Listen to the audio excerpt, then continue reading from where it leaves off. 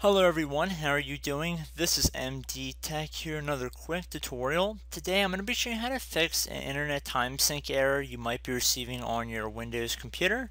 So sometimes you will receive errors when trying to synchronize your time settings with any servers that are listed on your computer.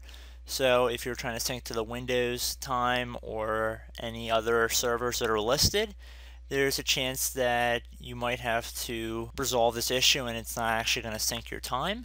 So in this tutorial I'll be going over how to hopefully resolve this issue for you guys.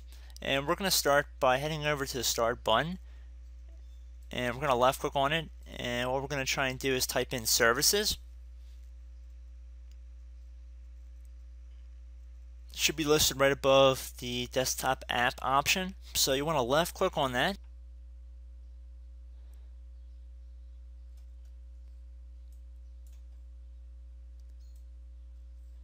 Okay, so underneath services, we're going to look for the service that's called Windows Time.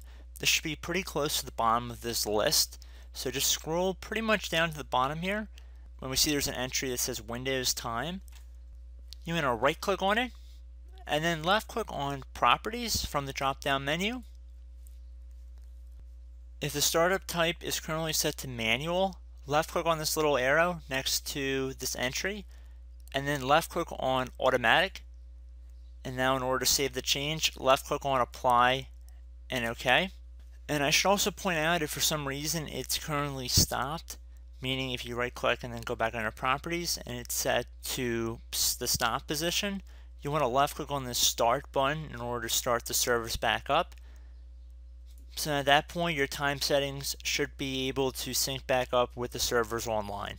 So I hope this brief tutorial helped you guys out and I will catch you in the next video. Goodbye.